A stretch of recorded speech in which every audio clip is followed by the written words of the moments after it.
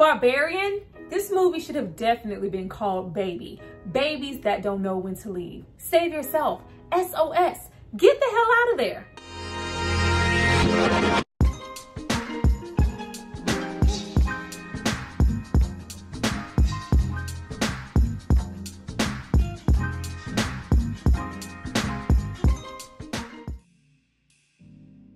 Hi you guys, welcome back my channel. It's Tyra here with another struggle review here to discuss Barbarian. Now this is a brand new horror film and it stars Georgina Campbell and Bill Skarsgård.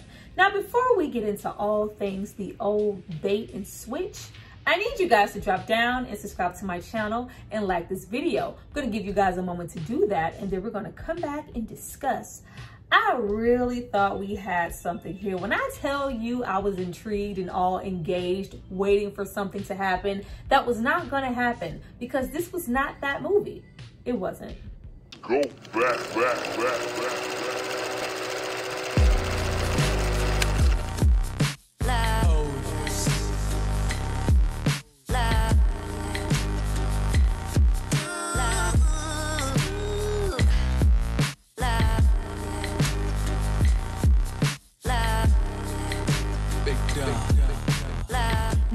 Guys have hopefully subscribed to see more of me, let's get into this movie. But first, let's discuss what this movie is actually about. A woman staying in an Airbnb discovers that the house she has rented is not what it seems. Very, very simple. Now, what I really, really enjoyed right off the back about this movie, especially in the beginning, was the buildup in the atmosphere. There's already this certain disdain for some people with Airbnbs in the first place. How clean is it really?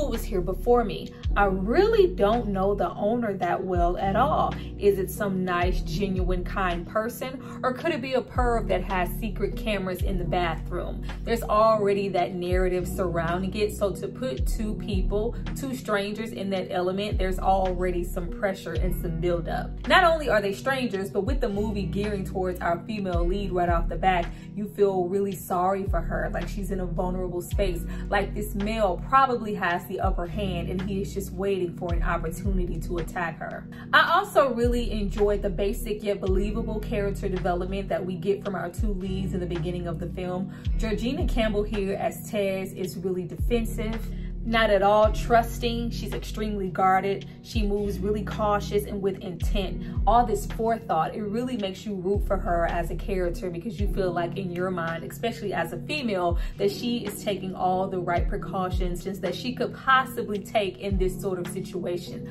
I don't know you, Keith. I don't want the drink that you're offering me. I'm actually gonna keep looking for a way out, looking for somewhere else to go. I don't wanna stay here. I'm locking doors. I'm taking a picture of your ID. Just because this Airbnb is double booked and you're giving off this kind, nice guy persona doesn't mean that I have to let my guard down and automatically trust you. I was rooting for Tess. Now we also have Bill Skarsgård here as Keith and in my opinion, even though his performance is really subtle here in comparison to something like, you know, the It franchise, it is very, very phenomenal. I love his delivery as an actor. In many of his films now, he just gives so much energy and you feel everything that he's doing. It's like he uses his entire body to act. And he's not just solely resting on the script. He appears here as generous, compromising, a gentleman, they have so much in common. And even though she is slowly letting her guard down and even starting to like Keith, her as well as the audience, we are still not completely trusting just yet. Is this all a ploy just to entrap her? Are the hotels in the area really closed? Is there a convention? Did you spike my drink? Why do you keep offering me one? Is this just some big coincidence to get us together and you just happen to be the most sensitive, sweet, generous, nice guy I've ever met? Or is this just you toying with me waiting for an opportunity? Because from that trailer, I thought that Bill Skarsgård was definitely our psycho barbarian. Now, the writing for this film, especially the first half, was really well executed to me. Not only the first half, but maybe the last act of the movie, like the very, very last, maybe 10 minutes of the film, was pretty well written to me. I like that we didn't know what was coming next early on, and it really made the film unpredictable, and I don't feel like we get that enough. Really strong, intense moments built into the tiniest of situations, like the random toothbrush that's on the floor, like him having a really intense nightmare, like the door unlocking, this being a really intense situation. We don't know if she's gonna make it out alive, but we have her wake up the next morning able to not only go to the interview, but get the job and come back. What is actually happening here? Why are these doors opening and closing on their own? Is this all set up and rigged by Keith? Is he working with someone? Is this some big elaborate trap just to give Tess some false sense of security? Just for her to lead and entrap herself in this never-ending basement to her very own torture, led by someone that she thought was a friend. Not only do we find that not to be true, but we also find out that Bill Skarsgård, Keith's life, is just as endangered as hers. That was surprising.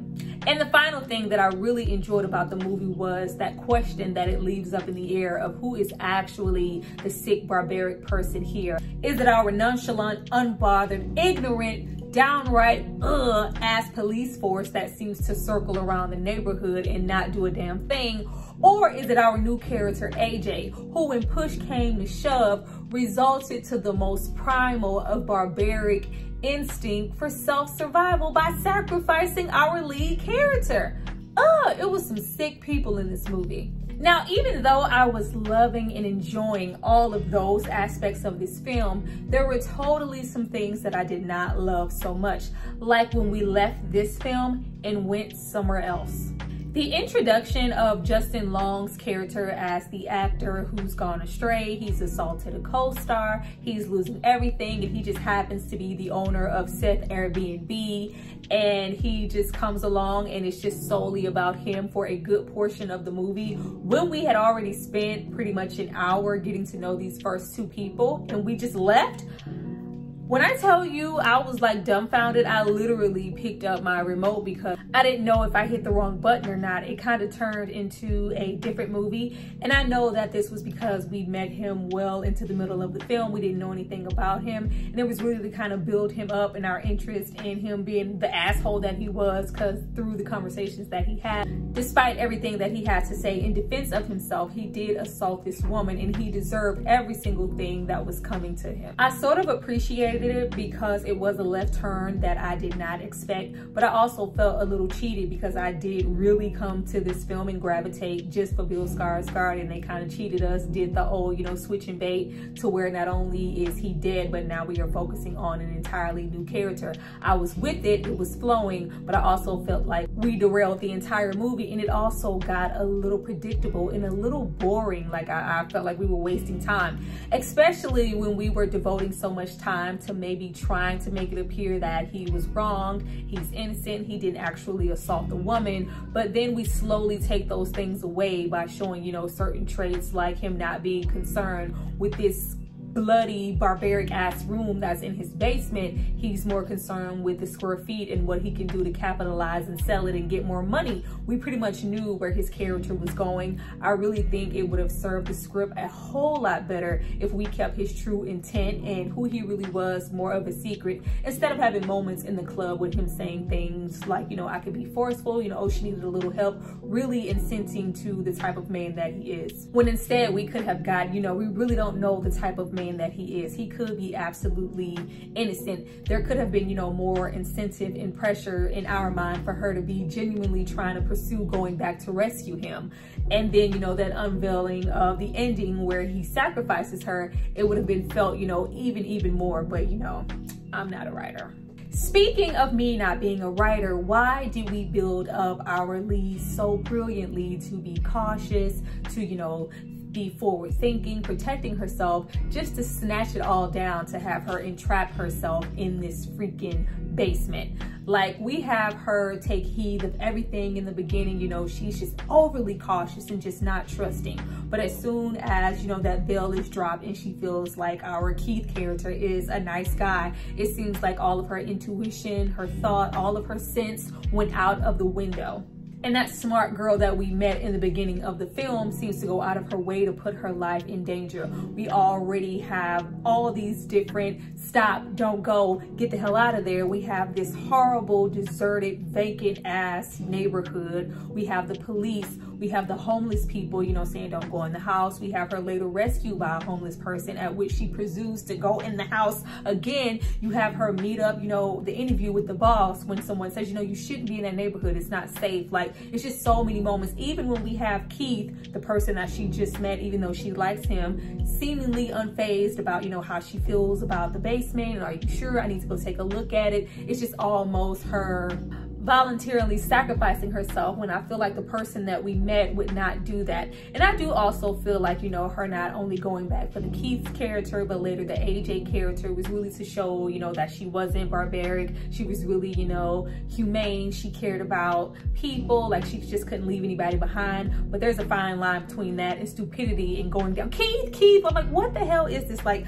I really wish through the writing we could have figured out a better way to get her down into that basement or get her to go back because that just was not it. She was really, really getting on my nerves and I was yelling at the screen. Even though we love a good horror movie where we can yell at the screen, I wish it was for something else and it wasn't for a character that I like just being stupid in my opinion. And lastly, the whole side plot with the man who previously owned the house in the 80s, the murderer, the assaulter, the man downstairs, what the hell was that and what portions are missing from this movie. There is definitely a lot missing here. First, with the movie being named Barbarian and that anticipation for what exactly was in the basement, how far did it go, who all was down there, I expect to see some freaking barbarians. Not one, not two, not a mother, like I was like, where the hell are the people? I just knew that we were gonna go way off into the wrong turn scenario and we were gonna be just circled by all these different barbarians in the dark attacking just all these inbreeded ass people.